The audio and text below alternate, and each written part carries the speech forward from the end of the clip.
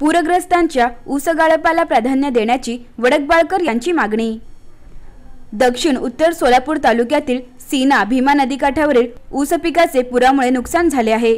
या ऊसाची वेळेवर तोडणी होऊन गाळप होणे गरजेचे आहे. यासाठी साखर कारखानदारांनी पूरग्रस्तांच्या ऊस गाळपाला प्राधान्य द्यावे. पुरामुळे कोसळलेले विजेचे खांब अद्यापही उभारले गेले नाही. त्यामुळे अनेक गाव आणि शेतशिवारे अंधारात बुडाली आहेत.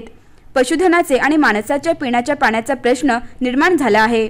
शेती पिकांचे आणि पडझड झालेल्या घरांचे त्वरित पंचनामे करून संबंधितांना त्वरित नुकसान भरपाई द्यावी अशा मागणीचे निवेदन जिल्हाधिकारी यांना देण्यात आल्याची माहिती आप्पासाहेब पाटील वडकबाळकर यांनी दिली.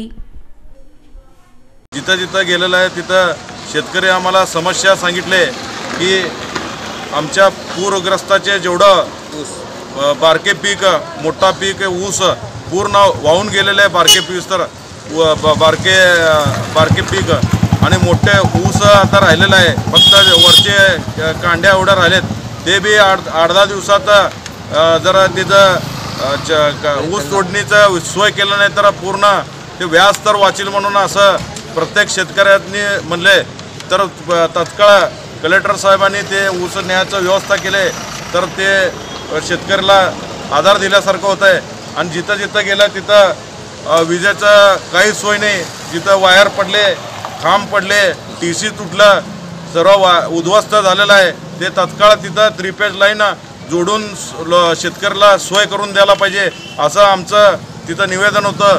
आणि शासनाने दहा हजारी हेक्टरे ह्याला शेतकऱ्याला मदत म्हणून जाहीर केले सर्व पंचनामा केले आणि तत्काळ ज्याचं घर पाण्यात गेले त्याला बी शासनाने मदत करतो म्हणले पण दोन दिवसाचं मदत म्हणून विषय झाला. आज पूर होऊन जाऊन वीस दिवस झाला. रुपयाचं बी शेतकऱ्याला मदत नाही.